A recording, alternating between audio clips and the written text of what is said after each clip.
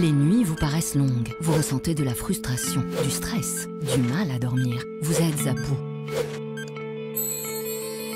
Détendez-vous.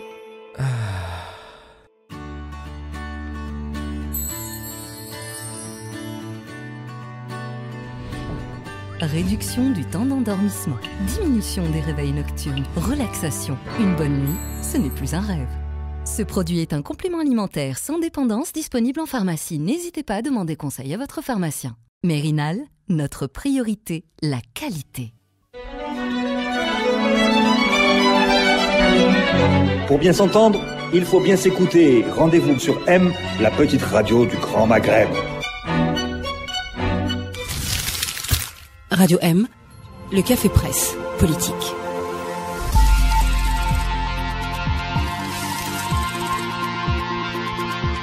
Bonsoir à tous et bienvenue au Café Presse Politique. Il est 18h et nous sommes en direct sur Radio M. Il n'est pas 18h. Il n'est pas 18h Non. Bon.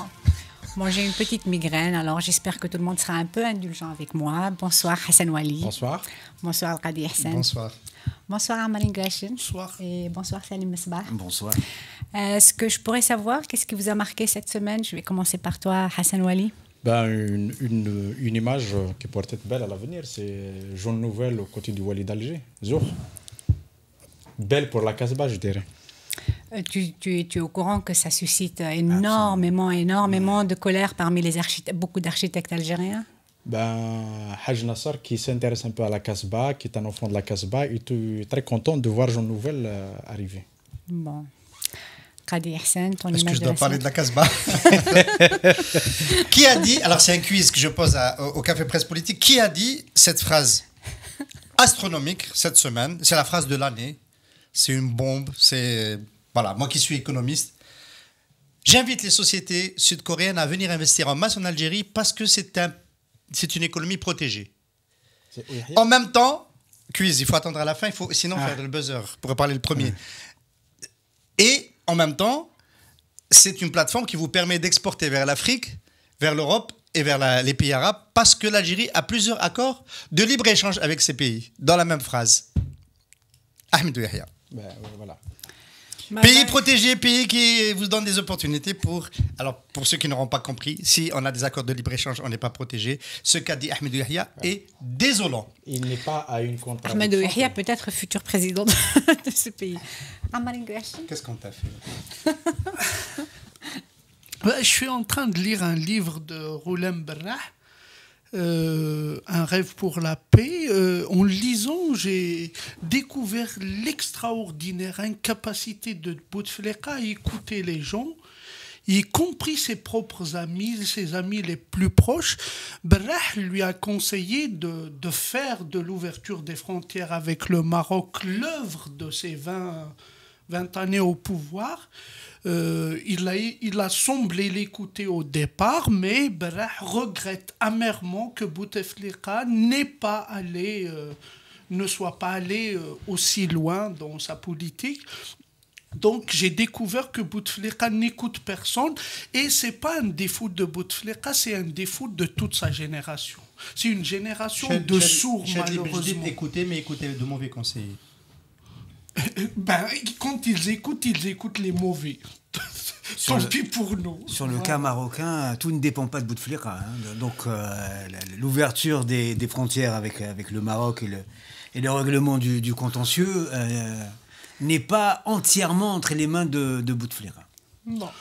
C'est Eh on, on est encore qu'à l'image de la semaine? On n'a pas encore entamé la première partie. Salim Mesbah, quelle est ton image? Ah, moi, le, co- le congrès de Tej et, la- et, le, et le discours lu par euh, Bouchareb, euh, le, le coordinateur de l'instance dirigeante, c'est euh, c'est un moment d'anthologie. Euh, parler de, du, du président et euh, rapprocher avec le, le prophète Ibrahim, c'est c'est franchement une, un moment d'anthologie euh, comme euh, rare. rare. Ça se fait de moins en moins rare. On a vu des. Ah oui, des non, mais c'est devenu. mais je pense qu'un jour, on, on- on parlera d'un saint, ou Oui. on aura. Oui, non, mais ça. Non, mais il, doit, il, doit, il, de- il devait faire mieux que Abbas, c'est normal. Bah, au parti, ça, a quand même déclenché beaucoup de, de réactions parce que beaucoup se sont dit on s'est débarrassé d'Abbassi de, pour avoir Bouchalb et tenir les mêmes propos. Euh, on n'est pas sûr de gagner au change. Bon, bah écoutez, que faire pour ne pas parler de Bouteflika en première partie du CPP Eh bien, j'ai décidé qu'on allait parler de l'Obra, puisqu'on n'a pas parlé de la manifestation qui s'est passée à Béjaïa le 11 décembre. Donc, ça va être le sujet de cette première partie. Euh, Rassure-nous, on parle quand même de Bouteflika à la deuxième partie. En deuxième partie. Sinon, on est malade. Hein. oui, chers, chers auditeurs. Sinon, on s'en va tout de suite. J'ai essayé, mais bon. Alors, euh, le, donc le sujet de cette première partie, c'est euh, la manifestation qui a eu lieu le 11 décembre dernier à Abjaïa en protestation contre ce qui est considéré comme des blocages malveillants de projets économiques porteurs d'emplois appartenant au milliardaire algérien Essad Arbrab. Alors, avant de vous donner la parole, je voudrais rapidement rappeler à l'intention de nos auditeurs qui est Saad Brab, selon le portrait que dresse de lui le magazine Forbes. Sixième fortune d'Afrique, il pèse 3,2 milliards de dollars, fondateur de Cévital, plus grand groupe privé d'Algérie. Cévital est aussi l'une des plus grandes raffineries de sucre du monde, avec une capacité de production de 2 millions de tonnes de sucre par an. Saad Arbrab a 74 ans, il est marié et il a 5 enfants. Alors, pour des questions éthiques évidentes, je voudrais attirer l'attention des auditeurs sur le fait que la compagnie Cévital fait partie des sponsors des émissions de Radio M. Elle ne sponsorise pas le Café Presse Politique, mais... Pas encore. Euh, non, non, non. Le sponsor du Café Presse Politique, c'est Mérinal, mais elle sponsorise le Café des experts économiques. Donc, j'apporte cette précision pour dire que cela ne changera en rien à la liberté du débat qu'on aura ce soir. D'accord. Alors, pas sûr. Moi, je viens de l'apprendre. Moi, j'y tiens. je viens de l'apprendre. en tout cas, le patron du groupe Cevital, Issa Adelbrab, a dénoncé le blocage de projets, ça c'est ma première question, hein, qui aurait rapporté 2,5 milliards de dollars et créé 100 000 postes d'emploi. D'où les manifestations qui ont lieu épisodiquement à Bjaya. Hassan, euh, je commence par toi. Toi, tu as participé à la manifestation qui a eu Participer, c'est autre chose. Non, non, non, moi j'étais en tant que citoyen, marché. Ah, ah. non, non, ah, j'étais en tant que citoyen algérien qui, qui partait participer à la manif parce que je considère que la, la marche. Euh, euh Donc c'est pas le journaliste Hassan qui a assisté Non, non, je le, c'est Hassan, ouais, le citoyen. Euh, vous aurez. Mais laisse-le parler. Euh, remarquez que j'ai pas fait de papier là-dessus. J'ai été euh, à la marche, je l'ai assumé publiquement. Oui, oui. J'ai été marcher avec ma femme. voilà, Avec, euh, avec ton épouse. Tu as fait un post euh, Facebook pour en parler avec enthousiasme. Et c'est pour ça que je voudrais avoir je ton suis, avis. Alors, je ne vais pas parler avec enthousiasme, mais je vais parler avec, avec, avec un peu de, de, lucidité. Moi, je dirais que d'abord, c'est un grand moment politique. Ça mhm. fait longtemps en Algérie qu'on n'a pas vu une telle mobilisation populaire une telle mobilisation politique où euh, d'abord ça a montré que les Algériens peuvent s'organiser quand on ne les provoque pas, quand on n'envoie pas la police, ils s'organisent euh, comme ça se fait partout dans le monde. Il y avait de, de, beaucoup de travailleurs, de, pas seulement de Béjaïa ou de Kabylie, mais de Blida, de, de Sétif, de Borj, euh, d'Alger, d'Oran.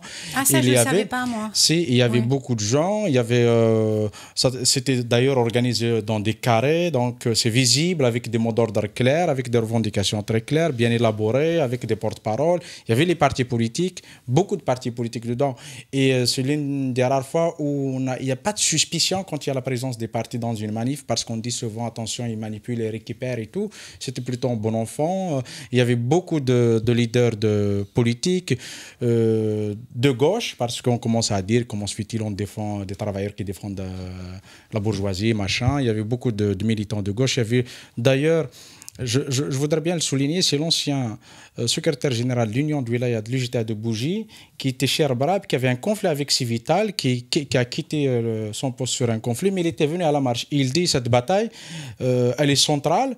on peut avoir des conflits au sein de l'entreprise, mais il y a eu des batailles centrales qui doivent pas, euh, qu'on ne doit pas occulter au profit des, des, batailles euh, liées à la vie de l'entreprise de tous les jours. Il, euh, dans la marche, c'est important de parler un peu du profil des manifestants. Il y avait beaucoup de travailleurs de, de Civital mobilisés volontairement, on ne les a pas forcés. Il y avait des, étudiants, il y avait même un comité d'étudiants qui s'est mis en place parce que Rabarab Civital a signé une convention avec l'université de Bougie, donc il recrute beaucoup d'étudiants. Il y avait des chômeurs, beaucoup de chômeurs qui disent on vient manifester parce qu'on Rabarab ne Civital nous propose des postes d'emploi, ces projets vont créer des postes d'emploi. Il y avait beaucoup de- d'enseignants, beaucoup d'universitaires, beaucoup de cadres. Il y avait même des, des, des, des dirigeants de banques publiques qui étaient là. Ils disent parce que si euh, euh, bouger, euh, il y a un investissement, c'est bien pour les banques de bouger. On peut, euh, il y a de l'argent qui rentre dans les banques, on peut faire des, crédits, on peut investir. Il y avait beaucoup d'entrepreneurs, de PME, PMI qui disent si on- ces projets, ce ce projet s'installe à Bougie, ça permet une vie économique aussi, le développement des PME, dans, pas seulement dans la région de, de Bougie, mais surtout Sétif, le Bourges, euh, un peu tout le centre du pays. Et je voulais juste dire que ce n'est pas effectivement parce que moi je fais confiance aux, aux gens qui, font, qui vont manifester on- parce qu'on on a tendance à donner des leçons aux gens Oui. derrière, derrière leur clavier. Ils n'ont jamais été dans une manif, ils n'ont jamais pris position sur euh, n'importe quoi. Dès qu'il y a ce type de manifestation, on commence à dire c'est, on marche pour un patron. Les travailleurs disent nous voulons défendre l'outil de travail. Et c'est une euh, revendication de gauche, euh, Hassan El-Qadi. C'est une revendication centrale de la classe ouvrière. Si on veut parler le langage de, un peu de... J'ai de- encore l'étiquette de commissaire politique Voilà. de gauche, mais c'est pas grave. Voilà, voilà. Donc, c'est ça. C'est, marrant parce que ça coïncide, parce que ça, ça, co- ça coïncide quand même avec, avec le- les- la, la, la, la, vague de, de migrants et tout. Euh, Ils disent, euh, voilà, les jeunes disent, voilà, si on ne fait pas de, l'emploi, on prend les, les rafios, on prend les, embarcations de, fortune. Moi, je dis juste que c'était un grand moment politique, c'était un grand moment de mobilisation sociale. Les Algériens peuvent euh, se prendre en charge, peuvent s'organiser, peuvent se battre euh, gentiment, pacifiquement, sans qu'ils cassent. Ihsan, euh, euh, Rebrab dénonce le blocage euh, de, de ces équipements euh, euh, par la douane, si j'ai bien compris. Mais est-ce que, est-ce que, est-ce que je peux savoir comment le, de, de l'autre côté le pouvoir explique? Est-ce qu'il est-ce que, est-ce que officiellement on donne des explications de ce blocage? Moi, j'ai- un peu abandonné le suivi de cette chronique. Je connais le début de cette chronique. Je, sais que, je sais que ça a commencé avec, euh, avec un certain Abslam Bouchouar, ministre de l'Industrie, qui était l'interlocuteur de, euh, euh, de ce dossier-là pour euh, C'est. On sait ce qu'il en est devenu. Euh, Abslam Bouchouareb, aujourd'hui suspecté d'avoir rançonné une partie du, du patronat algérien. Il y a un chef d'entreprise qui est venu sur ce plateau nous dire qu'il lui avait envoyé des émissaires pour lui demander de l'argent afin qu'il puisse conserver sa concession. Je parle de monsieur, monsieur Achaïbou. Donc, Absam Bouchouareb, donc très forte présomption de, délinquance euh, avancée en col blanc, euh, bon, sorti sur Panama Papers. Euh, je pense que dans le cas de. Dans le cas, alors, il l'a fait avec plein de gens. Il a, fait, il a, il a enlevé au groupe Civital Hyundai. D'ailleurs, on va peut-être s'intéresser au compte de, celui qui a succédé à Hyundai. Euh, L'argent qu'il a gagné avec l'assemblage automobile, je parle de, des, établissements Tarkout. On nous a promis un document croustillant sur les résultats. Il semblerait qu'il ait gagné infiniment plus d'argent que ce que donnait cette opération avant. Donc, au départ, au départ, on est dans un bras de fer. On est dans un bras de fer où on peut légitimement suspecter de la, euh, de, de- la- une tentative de- d'extorsion de, fonds. Mais dans le cas d'Herbrab, c'est trop gros pour que ça se passe comme ça. Il y a juste, tout simplement, le projet d'empêcher un groupe qui se développe euh, de se développer parce que ce groupe n'est pas dans, euh, considéré comme étant un groupe qui soutient le, le cercle politique de la présidence, le cercle politique de Bouteflika. Et ça a commencé en 2014 avec le deuxième mandat. Il n'y a pas autre explication. donc- Toutes les autres explications sont fallacieuses. Mais donc, c'est-à-dire, le, le- il n'y a aucune explication officielle au blocage? Euh, c'est simple. Alors, euh, il y, a, il y a quand même le, pre- le premier blocage avec Brandt. C'est Bouchouerbe en personne, en présence d'un ministre étranger, il dit qu'il attaque, il attaque un investisseur national. Et ensuite, Il a, fait Londres, il a fait à Londres devant la City pour une Voilà. levée de fonds. Alors, il a, il a aussi le blocage du, de- de- de- de- du, ma- du- du matériel pour la mise en place de, l'usine de trituration de graines oléagineuses. C'est bloqué à Bougie, c'est bloqué à Skikida. Ce n'est pas les douanes qui bloquent, c'est le, c'est le port. À Bougie, c'est le port. Le DG du port de Béjaï, il est devenu le, le DG des ports d'Algérie, euh, Djeloul Achour, pour ne pas le nommer.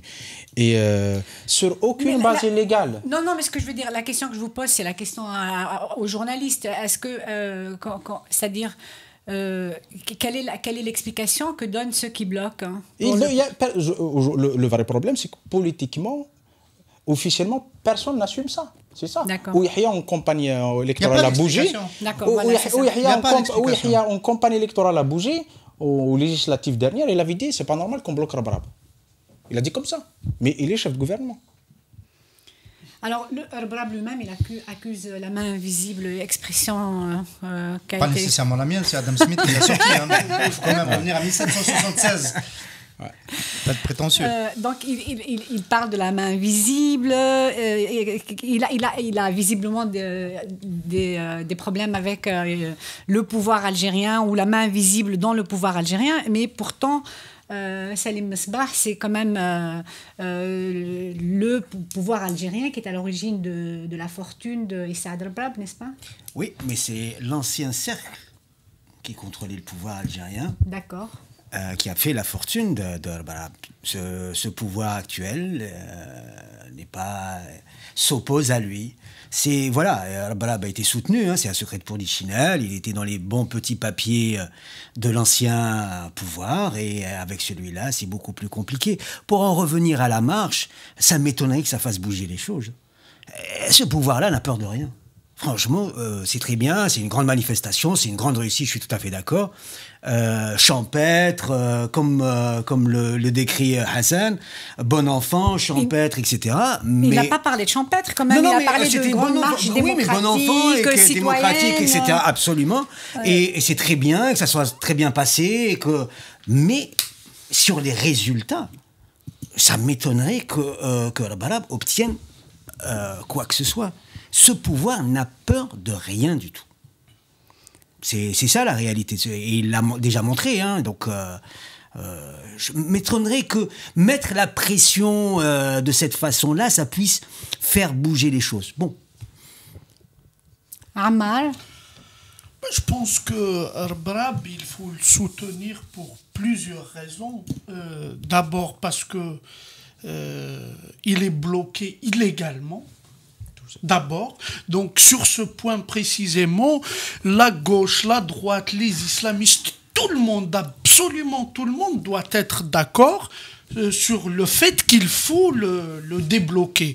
J'ai vu un certain militant de gauche que j'apprécie un petit peu jusque-là, Sadr Akrour, dire des, des, des saloperies carrément euh, sur Arbrab. Euh, ben, je sais pas, Arbrab est, est bloqué illégalement. Et le pouvoir algérien viole la loi en bloquant Arbrab, donc il faut le soutenir pour cette raison. La deuxième raison, c'est que c'est un industriel qui euh, c'est premier exportateur algérien euh, dans le secteur privé après la Sonatrach, c'est le, premier, le deuxième exportateur.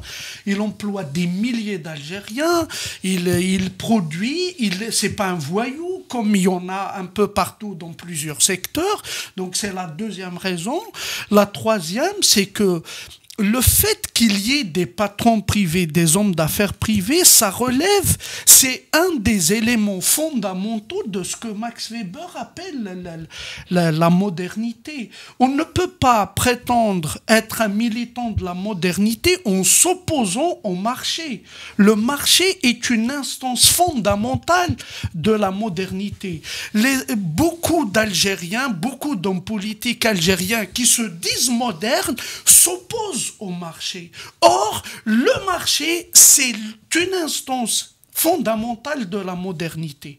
Donc, il faut soutenir l'émergence de patrons privés, il faut qu'il y ait cette possibilité d'émergence d'un marché en Algérie librement. Aujourd'hui, le pouvoir algérien viole la constitution qui dit que tous les Algériens ont le droit d'investir, euh, etc. Ils ont créé cette histoire de CNI. Même Arbarab, on lui bloque un autre projet, le port de, de, de, de Cap Genet, depuis 2000. Euh, Parce que, sous prétexte que tout projet qui dépasse 5, milliards, euh, 5 millions d'euros doit passer par une autorisation du CNI, c'est une autre saloperie, celle-là. C'est anticonstitutionnel. Non, c'est pour obtenir une convention, c'est des avantages particuliers. Mais bon, c'est un débat. Mais un débat. Toi, tu as parlé tout à l'heure des Panama Papers, mais lui-même, euh, Rabrab n'a pas été, Si, il a euh, cité. Il été a dit que mis en c'était cause son- dans son- les Panama Papers. Ouais. Et, et- Et- il dit que c'est un partenaire roumain qui a, qui a- qui bon, a inscrit sa boîte et lui, moi, il n'était pas au courant. Je voudrais quand même Mais revenir à l'origine de sa fortune, quand même. Euh, Oui. Alors, il y a que- quelqu'un qui a dit qu'il il, il a gagné, il a réussi grâce à l'État. Euh, non, on C'est moi on qui l'ai dit. Oui, Est-ce non, on que dit c'est pas, la bonne formule. Alors, Voilà, euh, c'est pas la bonne formule. C'est-à-dire, on réussit alors- pas. Alors, ça serait bien qu'on revienne. Moi, j'aimerais bien que quelqu'un, euh, qu'on revienne au, euh, à- parce qu'il est quand même constamment présenté comme quelqu'un, comme un self-made man, et il n'était pas self-made man. Il a profité quand même de, de. C'était il la y a période de la quelqu'un guerre civile. il y a quelqu'un qui s'appelle Taïb, Taïb Hafsi, qui est, euh, qui est docteur euh, d'État, qui est, euh, qui est, qui est l'ancien HEC Montréal. Le management stratégique, qui est quelqu'un de très sérieux, Mhm. qui a écrit la biographie euh, de Rabrab, que j'ai lue. Euh, il a fréquenté la famille pendant longtemps, etc. On peut considérer que c'est- c'est voilà, on peut considérer que c'est un ouvrage sérieux, même s'il a sûrement pas tout raconté. L'histoire, euh, la façon dont la fortune, le, le- le groupe Civitas s'est construit est une histoire somme toute banale quand on, évalue, on, on- on prospecte, on regarde le capitalisme mondial, les pays, comment, comment émerge une fortune comme ça. Il y a une combinaison euh, de self-made man, donc quelqu'un qui était comptable chez Sider, euh, chez La SNS. la SNS, SS. voilà, comptable chez la SNS, Ouais. voilà, et qui se lance dans l'initiative de créer sa propre entreprise de sidérurgie. Euh, à l'époque, c'était plutôt de la métallurgie, etc. Et euh, il y, a, un processus qui combine. Ensuite, il y a l'histoire qui intervient. Moi, j'ai lu la, biographie d'Enzo Ferrari, comment il a pu devenir Ferrari, et ainsi de suite. Il y a des histoires, des, des circonstances, la guerre, euh, etc., qui font les monopoles, la fin des monopoles, qui font que ça peut arriver ou pas. À un moment donné, notamment durant les années 90, tous les chefs d'entreprise qui sont passés ici, de grands chefs d'entreprise, disent que la belle période de l'investissement privé en Algérie, c'était les années 90 quand l'État était down et que euh, le FMI euh, nous prenait à la gorge et qu'on avait besoin d'investissement privé, vitalement besoin d'investissement privé. Et donc il y avait plus de facilité à ce moment-là pour les investissements privés. Dans le cas de Rabrab, Rabrab a sauté sur une occasion, c'était une ligne de crédit italienne. Il a été le premier à, remplir les conditionnalités pour pouvoir émarger à cette ligne de crédit et il a pu développer son business, mais il, il s'est cassé aussi la gueule parce qu'il a été obligé de partir en France, que son unité a été brise- brûlée à l'Arba, etc. Après, je pense qu'il a compris quelque chose d'essentiel qui le fait tourner jusqu'à aujourd'hui.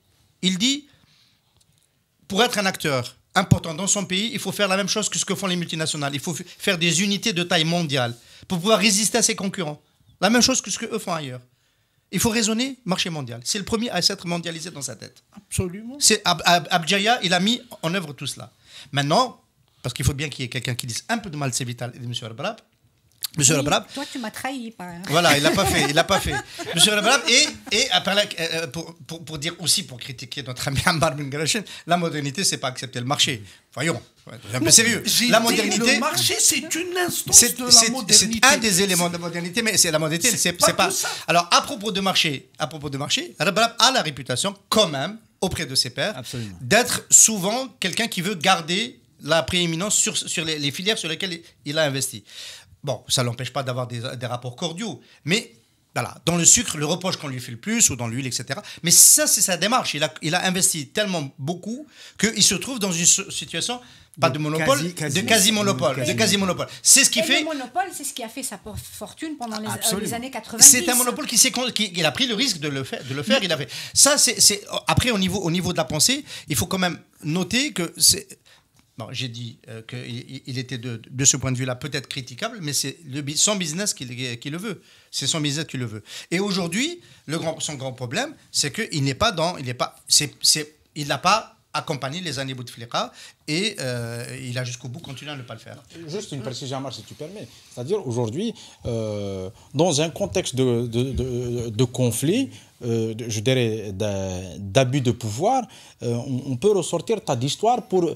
Euh, ce n'est pas le- peut-être le- ce que voudrait dire euh, euh, le, le but de propos de, de Salim Sbah, mais on, on évoque des situations antérieures pour justifier la- le- Le l'empêchement euh, d'aujourd'hui.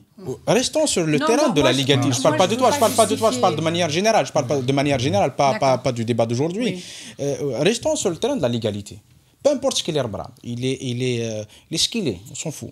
Légalement, est-ce que ce qu'on lui fait est, est- est défendable Est-ce que les interdictions qu'on lui inflige sont sur une base légale? Non. Aujourd'hui, ni le ministre euh, du Commerce, ni le ministre de l'Industrie, ni le Premier ministre, ni les douanes n'assument. Il y a une... Mais on sait pourquoi. Mais, ah, Ah, mais je sais pas si on non, doit- mais on- il faut, il pas rappeler, on sait pourquoi on- peut le dire, on peut le dire, on peut le dire. mais je- les- restons d'abord sur le terrain C'est pas légal. parce qu'on l'aime pas seulement. Hein.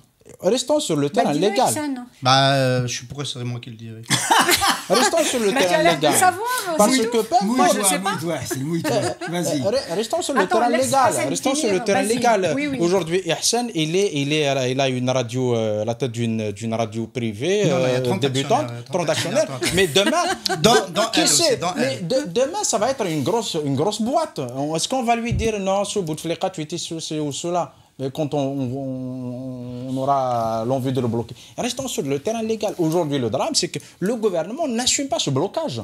C'est ça qui est tragique. Il- il y a un autre et il- point. il- après, bien évidemment, euh, si on, on quitte le terrain légal, mais c'est le plus important à mon avis, euh, restons sur- si on va sur le terrain politique et économique, c'est comme un aberrant ce qu'on fait. Euh, au, au moment où le pays est dans une crise, le, un chômage endémique, on bloque quelqu'un qui veut créer de l'emploi. Ah, Qu'est-ce que c'est que ça? Et lui, il a une stratégie de communication imparable. mais- mais Il c'est normal, il se ah bagarre, non. il se bagarre, Il est c'est normal. France, dire, C'est normal, c'est simple, c'est simple. Il, Oh, oui, oui. À Charles Velmisière, il inaugure une- On lui donne un hangar, un euro absolument symbolique. un, euro symbolique, Parce qu'il va créer, parce qu'il va créer seulement exclusive 1000 emplois à moyen terme. C'est énorme euh, pour, pour le gouvernement français. Tu ne crées 1000 emplois Non, ça en fait faisant mal ce au que tu cœur. veux. Ça fait mal au cœur, je pense suis que- d'accord. je- Je pense que du point de vue de la communication, il a quand même fait une grosse bourde.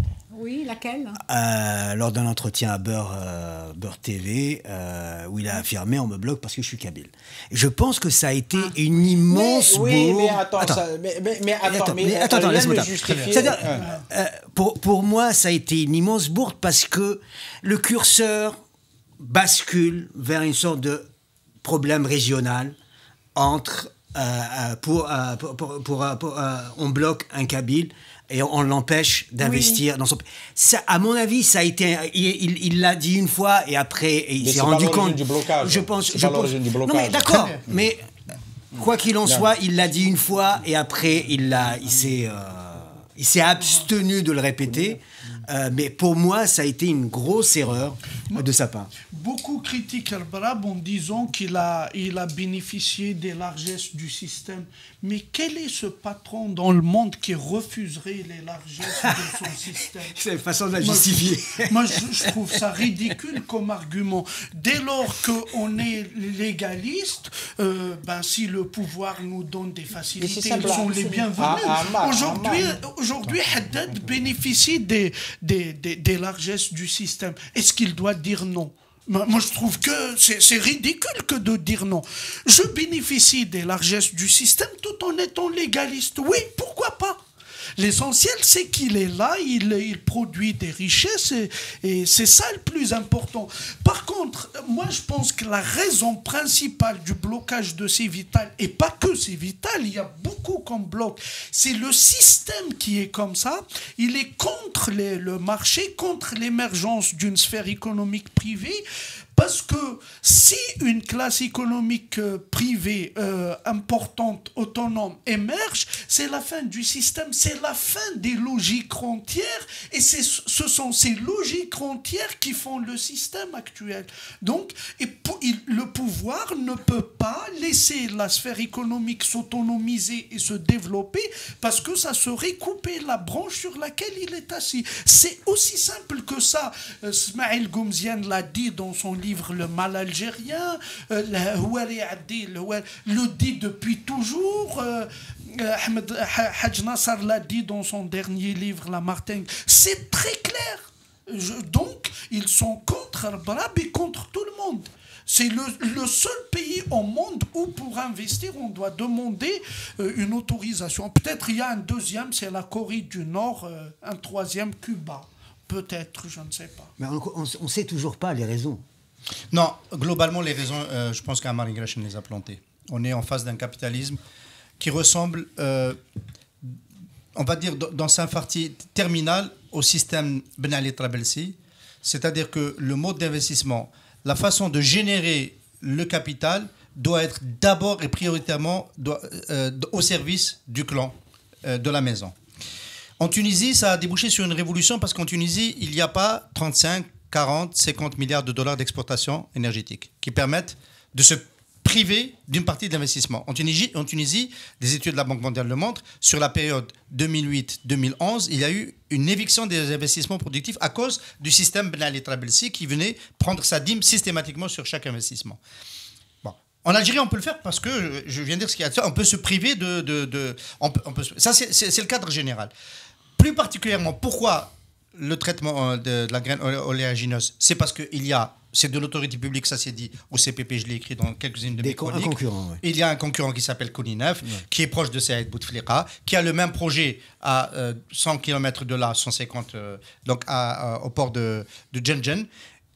Projet qui n'arrive pas à sortir du sol. Il est très en retard parce que ce n'est pas un vrai industriel. Donc il a pris beaucoup de retard. Il faut attendre que ce projet avance. Dans le cas de Brandt, ce sont d'autres concurrents qui sont priorisés. On ne veut pas le laisser s'autonomiser. Maintenant, la question, c'est de savoir est-ce que Bouteflika, est-ce que Bouteflika, est-ce que, est-ce que euh,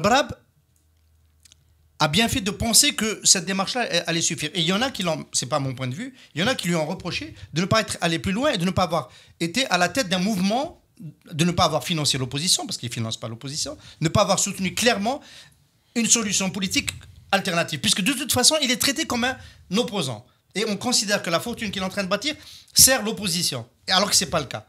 Il aurait peut-être mieux fait de le faire. Il aurait peut-être fini déjà avec Bouteflika et, et il aurait réglé ses problèmes. Et en partie, les problèmes de l'emploi de cette Je région. pense qu'il est C'est pas mon point de vue. hein. Je pense qu'il est temps que la bourgeoisie algérienne assume une- un rôle politique parce que Aïaouna hak- Non, non, non, c'est- il y a quand même, euh, pour, euh, euh, pour continuer dans le sens de, de Hassan, il y a quand même euh, euh, deux, types de bourgeoisie qui s'affrontent dans, ce qu'on a aujourd'hui. Il y a une bourgeoisie nationale qui s'est construite il y a des grandes familles avant Rabrab, il y a les, les, les, Hamoud, il y a des, des grandes familles. Qui- une bourgeoisie nationale qui est consciente de ces tâches historiques, c'est-à-dire qui estime, et à juste titre, que le développement économique d'un pays doit s'accompagner d'un développement politique. Il, ne peut pas y avoir de liberté euh, d'entreprendre sans liberté politique réelle. Et, qu'on clarifie carrément le, champ politique, économique, parce que c'est lié. Mais en face, il y a une bourgeoisie que, la gauche appellerait une bourgeoisie comprador, c'est-à-dire qui bâtit sa fortune sur l'importation. Et c'est ça, c'est cette euh, bourgeoisie aujourd'hui, depuis euh, au moins ces 15 dernières années, qui a capté les capitaux publics.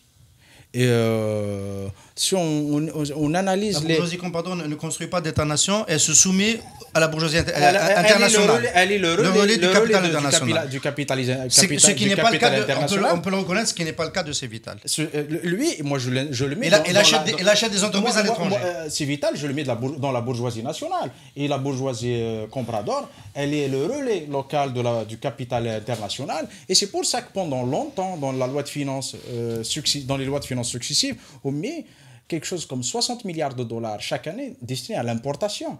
Et c'est une, euh, c'est une astuce de transfert de capitaux, de fuite de capitaux. Des- ils ont des sociétés écrans en Chine, en Turquie et un peu partout. Ils achètent là-bas et ils vendent euh, à eux-mêmes ici. Et, on connaît bien le scandale de la surfacturation. Aujourd'hui, il y a ce- ces deux visions qui s'affrontent. Le pouvoir politique de Bouteflika a choisi la, la bourgeoisie comprador. La Kabylie? Ah non, ça y est, c'est la fin, je suis désolée. Bah, je, je peux qu'on me dire un mot sur Kab- Kabyle, Kabyle, pas Kabyle, parce que bon, je sais pas moi. Vas-y, dis-le, ce non, moi je, moi je autorisation note juste en deux mots, je, note juste que les on années, les années Bouteflika, les a- années Bouteflika- les années ont commencé par le massacre du Printemps Noir. Mhm. Bouteflika a du sang sur les mains. On ne peut pas l'oublier. Ben, C'est pas le réconciliateur qui a remis d'accord les Algériens. Il il y a au moins 126 jeunes qui sont morts en Kabylie. Et les années Bouteflika vont se terminer sur une tentative de focaliser, de euh, discriminer, parce que le message c'est celui-là qui va être retenu, encore une fois, la Kabylie. Et là où ça finalement bouge et s'exprime, heureusement qu'il y a des travailleurs du reste de l'Algérie qui viennent, c'est l'intérêt de, de Civital d'a- d'agréger les Algériens, donc à travers les investissements qui ne sont pas seulement en Kabylie, mais on sent très bien qu'il y a une tentative, il y a un calcul aussi de laisser les Kabyles se dépatouiller avec ce, problème-là pour qu'après on puisse dire c'est un problème kabyle ou kabyle et c'est- et c'est le schisme il, il est comme ça. Et ce que je note c'est que finalement les années Bouteflika ce sont celles qui ont le, le plus desservi l'unité nationale. Merci à tous nos invités. Restez avec nous pour la deuxième partie. Nous reviendrons à Bouteflika et à la réunion qui a encore lieu en ce moment même à la résidence d'État de Zeralda.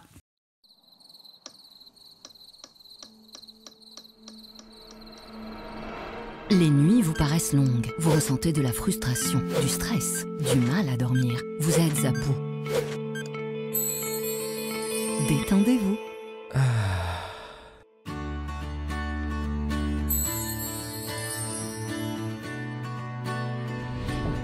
Réduction du temps d'endormissement, diminution des réveils nocturnes, relaxation. Une bonne nuit, ce n'est plus un rêve. Ce produit est un complément alimentaire sans dépendance disponible en pharmacie. N'hésitez pas à demander conseil à votre pharmacien. Mérinal, notre priorité, la qualité. Pour bien s'entendre, il faut bien s'écouter. Rendez-vous sur M, la petite radio du Grand Maghreb. Radio M, le café presse, politique.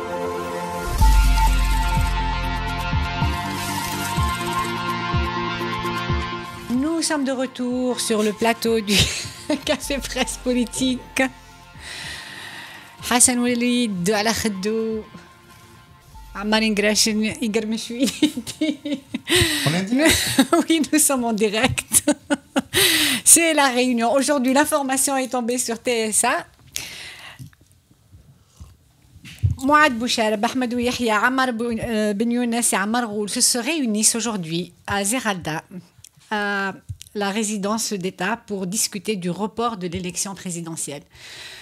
Voilà, donc il y a de quoi te, de, quoi te mettre comme ça, euh, Qadi Ihsan. Alors, selon le HuffPost Algérie, Ammar Ben Younes et Ammar Ghoul sont les principaux partisans du report des élections présidentielles prévues en avril 2018. Je rappelle pourtant que la semaine dernière, le Moudjahid avait dit euh, dans, un éditorial qu'il n'était pas question que l'élection soit reportée, que le porte-parole du RD, euh, Sadiq Shihab aussi, avait affirmé qu'il n'y avait aucune raison pour que euh, l'élection soit reportée. Et pourtant, nous y sommes. Apparemment, la réunion qui se passe aujourd'hui euh, discute de cela.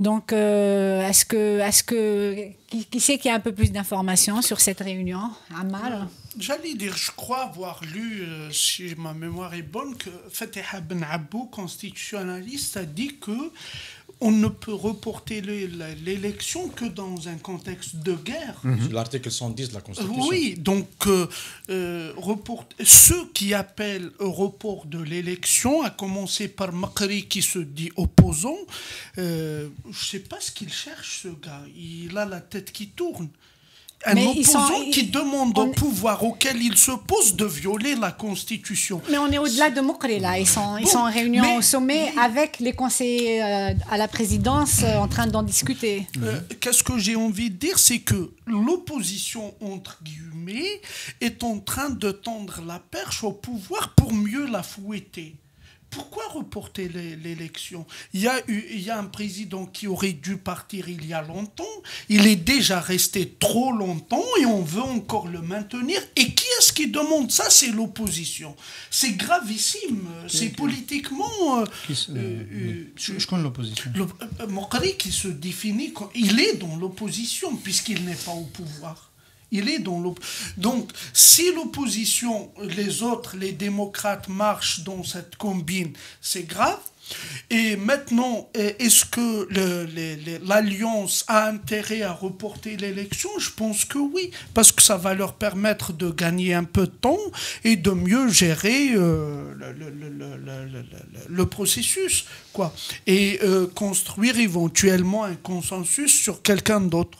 Donc, euh, je pense Mais... que ça, c'est davantage dans l'intérêt du pouvoir que dans l'intérêt de l'opposition et partant de l'Algérie. Ihsan oui, non, mais ce que je voulais dire, c'est que ce qui se met en place, c'est au-delà de l'alliance. C'est pas uniquement les quatre parties de l'alliance qui vont, qui vont euh, oui, se réunir. Bien sûr, il y, a, a une, y a ce qu'on appelle ils ont trouvé une formule, une sorte de conférence de souveraineté. Euh, c'est ce qui se met en place. Il y aura donc d'autres partis, donc sûrement le MSP, mais pas uniquement. Et euh, euh, ils violeront pas la, Constitution puisqu'ils l'amenderont avant. Donc, euh, ils l'amenderont avec de nouveaux articles qui vont permettre euh, une prolongation de mandat du, du- du président. Bon, ils vont modifier énormément la Constitution parce que le deal, il est là. hein. Ils vont euh, avoir le temps de modifier la Constitution. qu'on est à un mois précisément de la convocation du corps électoral. En un mois, je pense pas qu'ils vont pouvoir se mettre d'accord sur l'amendement de la Constitution, etc. etc. Je pense que c'est trop court pour aller dans non. ce sens. M- m- Moi, ça fait plusieurs semaines que j'attends le moment solennel, euh, d'un certain point de vue historique, où dans le CPP, le Café Presse Politique de Radio M, on a déclara euh, défunte l'option du cinquième mandat. Peut-être qu'aujourd'hui, on peut considérer Hassan Wali va que dire- Hassan Wali puisse jubiler, parce que depuis le début, c'est un peu le contre- ans. J'étais le seul à dire ça depuis deux ans. depuis deux ans, mais je crois qu'on y on s'en approche. Je pense qu'aujourd'hui, Oui, mais si c'est pour que reporter jamais, les élections et qu'ils restent là ad vitam Commençons, aeternam, commençons euh, par nous réjouir de cette perspective qui devient de plus en plus concrète. À chaque jour suffit sa peine. Voilà. Donc, je pense que on a une réunion. Il semble que de toute évidence, il y a une réunion. Oui. Et dont l'objet n'est pas le cinquième mandat. Il semblerait pas que ce soit ça. L'objet, c'est pas pour convaincre euh, Abdelaziz Bouteflika de rempiler. C'est, c'est pas, il semble pas que ce soit ça l'objet. Bien, c'est important. Ton optimisme, C'est important, c'est important. Bon, il n'y a, pas longtemps, on, pensait quand même euh, utiliser le passage. Maintenant, optimiste, non, parce que en fait, c'est pas un rapport de force politique et sociale, c'est pas les Algériens qui sont descendus à qui ont obtenu cela. S'il y avait eu des, des marches dans tout le pays qui avaient débouché sur ce résultat, oui. Mais on n'est pas dans ce cas de figure. On sait, et de ce point de vue-là, Saïd Jafar avait raison de, rappel- de rappeler à chaque, à chaque fois que l'élément qui pouvait faire en sorte que le cinquième mandat ne, la ne, santé. ne survive pas, ne survienne pas, c'est la santé. Et il semblerait que donc de ce point de vue-là, effectivement, comme nous l'avons dit et écrit plusieurs fois, ça, se soit plutôt dégradé. C'est un moment important. Maintenant, le fait que Bouteflika ne puisse pas faire le cinquième mandat, c'est un gros souci pour Saïd Bouteflika en premier. Même pas pour Abdelaziz Bouteflika, c'est pas sûr qu'à cette heure-ci, il soit conscient qu'il ne peut pas. Pour ses amis politiques, pour son cercle, pour Koninef et son business, et les autres. Comment ils vont résoudre ce problème? Bon, il y a plusieurs options sur la table. On peut déplorer effectivement que quelqu'un qui était supposé être de l'opposition, euh, Mokri, ait servi de, entre guillemets, de, de roue de secours pour proposer cette, solution du report qui, bon, semblerait agréer une partie de l'opposition. Mais on est quand même on est au tout début du problème. On est au tout début. Et les solutions bricolées du style changer la Constitution d'ici trois mois, On n'a pour pas la- le temps. on n'a pas le temps, ça ne fait pas très sérieux. Il y a peut-être d'autres artifices, je ne vais pas les rappeler ici parce que j'ai- j'aime Oui, pas beaucoup que le, pas que le. CPP devienne. Bon, enfin, les idées, ils les, ils les ont, mais je- ça me paraît quand même comme une option très compliquée. Et quand on prétend que ça va au-delà et qu'il y a d'autres partis qui sont d'accord, des gros partis qui soient d'accord, il me semble pas que dans les partis qui étaient à Zelada, il y en ait beaucoup qui soient d'accord. Ça, c'est- un gros mensonge de la part de Taj. Je sais que euh, de l'entourage proche de Ali Benflis, il va y avoir un démenti. euh, ce week-end pour dire qu'ils ne sont pas dans cette dynamique. Le FFS, le RCD, d'autres partis, euh, le, le P- le- Gilles Jadid qui, qui, qui, qui- qui s'est exprimé. Il y a Mouatana qui a appelé à une contre-conférence. Donc on est, on est quand même dans un moment où ceux qui étaient pour le cinquième mandat sont dans le cambouis, ont une grosse difficulté, ils bricolent une solution, et la solution va très probablement cliver politiquement le pays. Le- on, est, on est en train d'aller vers une situation de clivage dans le pays, respecter la Constitution ou pas. Mais Voilà. pourtant, on n'a entendu que Mouatana pour l'instant. On n'a pas entendu de réaction contre le report des élections. Si, si. Euh, si, si, Hassan. Le, RCD contre, le FFS est contre, euh, beaucoup d'acteurs politiques sont contre. euh, mais c- c'est pas là le problème. C'est que euh, les partis qui se réunissent à Zeralda, les partis de la coalition gouvernementale, ce ne sont pas les vrais acteurs politiques, ce ne sont pas les vrais décideurs. C'est-à-dire, il faut, à un moment, il faut arrêter de leur euh, accorder euh, euh, ce, ce rôle. Ils ne l'ont pas. Non, pas du tout. À- à- à- encore, encore, encore, encore, encore plus pour Amara Bignouz, parce qu'il est quand même un peu, un peu marginalisé. C'est le, c'est le maillon faible de la coalition euh, gouvernementale, Amara. Euh, et ce, ce qu'on pourrait dire, c'est que en 2014, finalement, ce qui s'est passé, on a déféré le règlement de la crise. On n'a pas pu euh, trouver un candidat de substitution à Bouteflika. Bouteflika, sa candidature pour un quatrième mandat, au-delà du fait qu'il voudrait mourir au pouvoir, qu'il veut être un, un président à vie et tout, mais la logique du système, la logique du pouvoir voudrait qu'à un moment, il faut passer à quelqu'un d'autre. Et ce quelqu'un d'autre, on n'a pas pu le trouver en, en 2014. 2014, Je parle de- du, du système, de- Oui, du pouvoir. Qu'est-ce qu'on fait? On, C'était quatrième euh, candidat Bouteflika en 2014, c'est une candidature par défaut. Un peu, comme Madj- un, un peu comme Madjer pour l'équipe nationale. voilà, et, et, et l'erreur commise, je dis toujours, l'erreur commise par le- ce qu'on ce qu'on appelle euh, communément le, le clan présidentiel, c'est qu'il n'avait pas tiré les leçons de 2014. C'est-à-dire, il n'avait pas pensé à 2019. Pour la simple raison que, euh, à ce moment-là, ils étaient pris dans l'urgence de la gestion des conséquences immédiates de- de- du- du quatrième mandat. C'était la crise avec euh, Toufik, c'était la crise avec le gouvernement Tebboune, c'était la crise avec leurs, leurs propres hommes d'affaires, ainsi de suite. Et donc, ils n'ont pas eu le temps nécessaire pour réfléchir à 2019. Et c'est pour ça qu'aujourd'hui, on arrive à 2019 avec la situation de, de 2014 qui s'est aggravée. En fait, je pense qu'ils ne pensaient pas arriver à 2019. Et Carrément. Peut-être qu'ils ne pensaient pas, mais avec, pas- avec, avec, avec, qui s'est- qui s'est- qui s'est aggravé? Aujourd'hui, c'est quoi le- leur problème? C'est que comme on a érigé publiquement, politiquement, on a érigé Bouteflika comme horizon politique indépassable, donc on a empêché le- les gens à l'intérieur du système de réfléchir à des alternatives. Et on arrive à ce moment-là que Bouteflika, finalement, euh, il, n'est pas cet horizon indépassable. Et euh, qu'est-ce qui se passe? On n'a pas réfléchi à, une sortie par le haut. Moi, au lieu de partir de, ces quatre partis, il faut nommer aujourd'hui les décideurs. Qui sont les décideurs? C'est l'armée, à sa tête Gaït Salah. C'est un, un homme qui est là, qui pèse lourdement euh, dans, euh, sur l'échiquier politique. C'est la présidence, mais euh, la présidence sans, la, sans sa tête, sans Bouteflika, parce qu'il est malade, parce qu'il est effacé. Donc, on, désigne son frère, l'entourage, la famille, les, amis. Et il y a un troisième acteur qui n'a pas disparu de la circulation, c'est le général Toufik. C'est pour ça que d'où la lettre, la fameuse lettre Wali, qui a été d'une violence, d'une violence extraordinaire. Cette lettre ne s'adressait pas à l'opposition, elle ne concernait pas, ne visait pas ni Brab, ni Mohsin Blabez du RCD, ni quiconque. Elle s'adressait aux gens qui, s'agitent à l'intérieur du système. Ces gens-là, aujourd'hui, encore une fois, ils n'arrivent pas à se mettre d'accord. Euh, ni sur le cinquième mandat, moi je ne l'ai jamais cru. Euh, je pense eux-mêmes ne, ne pensaient pas que c'est une situation, le quatrième mandat, ils le terminent mal. Ils ne savent pas comment le finir.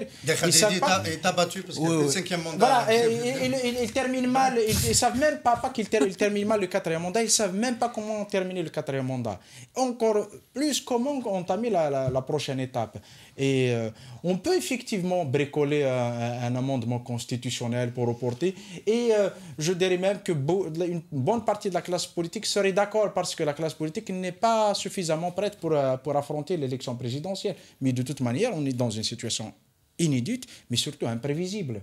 Et, les- et ça bloque le pays. C'est- c'est- on parlait tout à l'heure de, de Cévétal, mais ça bloque tout le, le Qui a dit que le du pays. report a arrangé C'est- Le report, n'a- n'a- c'est une fausse C'est idée. Salim qui hein. disait ça. Le, le report, c'est- c'est c'est- c'est continuer sans, sans président, parce qu'au-delà d'avril, personne ne- ne- plus personne ne va respecter Saïd Bouteflika. Je ne parle pas Mais d'Abdelaziz. justement, alors le Voilà. report, Salim, justement, ça veut dire que c'est c'est reconnaître de fait. Moi, je voudrais que- juste. que- euh, Ah oui, vas-y. après, après, j'a- j'a- j'arrêterai de parler. Il y avait, un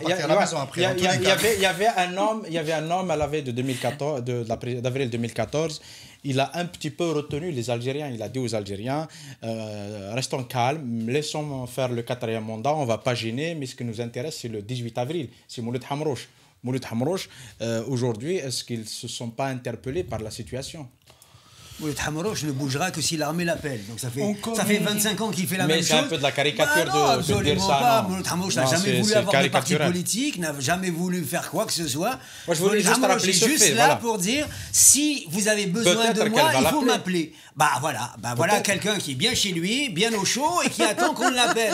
Alors moi, je veux bien les hommes politiques comme ça. Les euh, Bouteflika, euh, Salim ça- Bouteflika, Mais il a fait la attendu même chose. 20, 20 ans, Absolument. hein. Il a fait la même chose. Donc euh, voilà. Mais moi, je, je voudrais juste dire une chose. Ça, ça m'étonnerait qu'après le quatrième mandat, le problème qui s'est posé, c'est pas qu'ils ne savaient pas quoi faire. Après, euh, pour eux, c'était clair qu'il y aurait un cinquième mandat. Le problème, c'est que la santé du président s'est détériorée et qu'ils ne peuvent pas aujourd'hui, avec la santé que, le, que Bouteflika a, euh, Qu'il n'a pas, surtout. n'a plus euh, euh, prétendre organiser un cinquième mandat. Voilà, ils ont, mais euh, dans leur logique, il y avait un quatrième, un cinquième et peut-être éventuellement un sixième. Ça, c'est clair. C'est pas, ils sont pas pris par. Ce qui les a, ce qui les a mis en, difficulté, c'est la détérioration de la santé du président. À partir de là, il fallait bricoler quelque chose, trouver une solution. Euh, je voudrais juste euh, rajouter quelque chose. Sur l'opposition, moi, vous me faites marrer avec cette histoire d'opposition. hein. Alors franchement, c'est à se tordre de rire. L'opposition, euh, s'ils arrivent à récupérer le MSP, ils ont, ils ont bousillé l'o- l'o- l'opposition. Parce que le, le- le- ce, qui ce qui était mis en marche à Zeralda, c'était le MSP qui le portait sur les épaules. Ah, C'est- Non, pas pas que- vrai. ça, Ça, c'est pas vrai. Ça, c'est vrai. Quand le. MSP, est parti, C'était le maillon faible. C'était quand le MSP est parti, qu'est-ce qu'il est resté de la... Qu'est-ce qu'il en C'est est pas le départ du MSP, c'est l'arrivée des échéances électorales non, non, non, c'est- absolument pas. C'est Alors pas sérieux, franchement. Mouatana, Non, le- C'est Ah, pas il faut arrêter- il faut arrêter de rigoler. euh, Moi, je veux euh, bien. Au, au sein de Azeralda, il y avait quand même le RCD qui était très actif. Et il, y avait, il y avait beaucoup d'acteurs indépendants qui étaient très actifs et qui représentaient beaucoup plus que ce que prétend représenter l'UMSP. Contraire, Oh, Arrêtons, un peu Bien de sérieux. Il MSP était Azeralda traîné comme un Il boulet. Il était traîné comme un boulet, l'UMSP. Bon, euh, pour revenir à l'histoire de Bouteflika, ce que j'ai dit la dernière fois, moi je pense que c'est un problème, c'est on, est, on a atteint un stade où on doit passer vers une autre génération de dirigeants. C'est une rupture générationnelle qui est en train de s'opérer parce que Bouteflika, c'est le dernier enfant de la révolution algérienne à être à la tête du pays. On a Mettre, entendu euh, ça. euh, autour d'un d'un révolutionnaire, entre guillemets, il est facile d'organiser le consensus parce que traditionnellement ça se construisait, ça a toujours fonctionné comme ça. Mais construire un consensus au sein du système autour d'un enfant de l'indépendance, je pense que c'est très compliqué. C'est un peu la théorie de Ziali. Ziali dit pratiquement la même chose. Et je pense que c'est l'unique problème. Et c'est pas, euh, ils vont pas bricoler une solution parce qu'il ne s'agit pas de passer un cap euh, conjoncturel. Il s'agit de passer d'un système à un autre système. Les, toutes les logiques qui structurent le système actuel vont changer avec l'arrivée de la nouvelle génération à la tête du État. Maintenant, est-ce que cette génération qui va la arriver génération est de meilleure? Ouyahia. Oui, Et la alors, génération de l'indépendance. Ou Bad ou Yahya ou quelqu'un d'autre. Justement, en parlant de Ziyari, alors à- à- qui t'a qui t'a donné une, une interview euh, sur euh, TSA euh, direct, a encore parlé encore de Ouyahia comme étant le. euh, Bah, il, a- il- le- il- il est dans une logique. Ça, ça l'arrange pas là, c'est euh, Ah Ouyahia, pour moi, s'il si, s'il y, a- et s'il y a prolongation, euh, d'ailleurs la, la réaction de Chihab, elle n'est pas, elle est pas innocente. Hein, euh, C'est-à-dire Chihab, bien sûr. Le, le, deal, euh, c'est que si le président ne se présente pas, Ouyahia se présente. C'est-à-dire qu'il l'a dit, hein, si le président Oui, ne mais là- pas, mais là, il est en train- il- Non, mais il a- lui, il l'a dit. Il a dit, si le président n'est pas candidat, je suis candidat. Oui, mais là, c'est complètement inédit. Là, mais- ni oui, se non, présente, ni oui, personne ne bah, se c'est présente. ça- C'est ça, bah, c'est ça le problème. C'est ça le, c'est- le- le problème. On n'est plus. C'est ni je me C'est présente pas, ni je me présente. C'est une idée Mais aujourd'hui. ça bouge tellement. Donc pour moi, le grand perdant dans cette, dans, dans- dans cette histoire, si, si on va vers une prolongation, pour moi c'est Ouiahia. Ben, c'est toute, c'est toute l'Algérie, c'est pas seulement Ah mais c'est très, très grave. On va vers l'inconnu quand même, c'est catastrophique. Ce qu'il faut dire, c'est que quand même, euh, tout à l'heure, il a parlé, Hassan, dans la première partie de, de la Kabylie avec 2001 et Civital avec euh, 2018, c'est que Bouteflika, ou son, le, le pouvoir de Bouteflika, n'a pas du tout pensé à, sa, à préparer sa, sa sortie. C'est ça. Et euh, on est dans une situation de blocage au sein du, du pouvoir, mais dans une situation où tout le pays est pris en otage. Parce Je- que je comprends il faut pas. quand même dire, il faut quand même dire une chose. Le mandat, le quatrième mandat est un mandat à blanc. Aucune décision sérieuse, importante, qui engage le pays, qui engage l'économie du pays, qui engage le- les, les- les- les générations futures, qui, fixe, attends, je Civital termine, qui je- va nous- qui nous fixe un, qui, fixe un cap pour le, qui fixe un cap pour le pays et rien n'a été engagé. Et, où- et ça, pose, ça pose un vrai problème pour nous d'abord, mais surtout pour les partenaires de l'Algérie. C'est pas un pays sérieux. Tu voulais dire Non, euh, mais moi, c'est- je- moi, moi, cette histoire de préparation de la, de la succession, il n'y a jamais été question de la préparation de la succession. Non, Ce président est là pour, euh, pour, pour être, pour mourir au pouvoir. Mais Donc, c'est- c'est une il n'y a sortie, pas, euh, il c'est n'y a pas de sortie, ni de haut, ni de on bas. On sait très bien comment la sortie va, va, va, va être. Mais on ne gère pas une- un pays comme on, gère une euh, supérette. Il faut bien préparer la succession.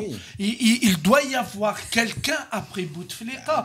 Et la nature et, l'histoire de l'Algérie fait que on passe d'une génération à une autre. Et ça, c'est compliqué parce que c'est tous les réflexes qui changent. Mais je pense. euh, euh, je- j'a- Non, j'allais dire juste que j'allais juste vous dénoncer pour dire que le, vous êtes en train d'essayer de faire prolonger le CPP, donc on attend de la fumée blanche de Zerada, parce que la réunion en parallèle, elle continue. hein. On Oui, risque oui. d'apprendre ce qui va se passer si on continue là. Non, c'est ça.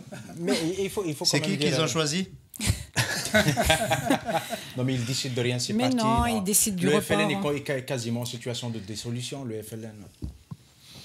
Parti majoritaire qui n'existe pas. Ça sera la bonne nouvelle de 2019. sur, sur l'humour particulier de Ammar Ingrashen se termine ce café presse politique. Merci à tous les invités. Merci à Soumeya Frikali, la réalisatrice, à Ahmed Belrit à l'image. À la semaine prochaine.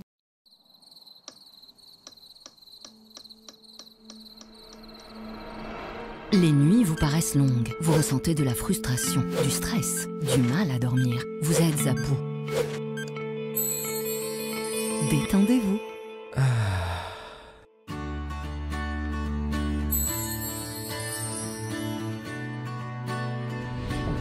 Réduction du temps d'endormissement, diminution des réveils nocturnes, relaxation. Une bonne nuit, ce n'est plus un rêve. Ce produit est un complément alimentaire sans dépendance disponible en pharmacie. N'hésitez pas à demander conseil à votre pharmacien. Mérinal, notre priorité, la qualité. Pour bien s'entendre, il faut bien s'écouter. Rendez-vous sur M, la petite radio du Grand Maghreb. Radio M, le café presse politique.